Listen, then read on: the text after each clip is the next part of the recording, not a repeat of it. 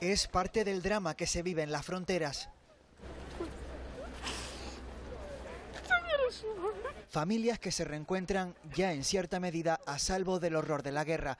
Es el caso de Dimitri, que ha logrado reunirse en Rumanía con su hermana y sus dos sobrinas. Uh, I had to leave uh, my. Tuve que dejar a mi esposo porque no se le permite cruzar la frontera y tuve que dejar a mis padres porque tenemos parientes mayores a los que tienen que cuidar, nos cuenta Natasha. They aren't safe. Ellos no están seguros donde están ahora en Kharkiv, ciudad bombardeada constantemente.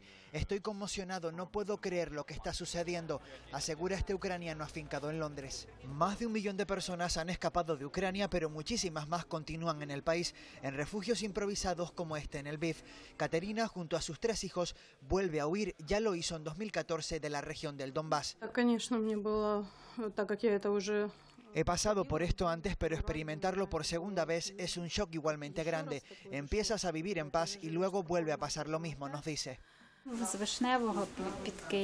Soy de Vishnev, cerca de Kiev. Estábamos parados en una plataforma esperando el tren de cercanías y literalmente sobre mi cabeza voló el misil que golpeó la torre de televisión, nos cuenta Yana. Por lo pronto, gracias a la financiación de una marca de moda local, ahora están a resguardo en este refugio cerca de la frontera con Polonia.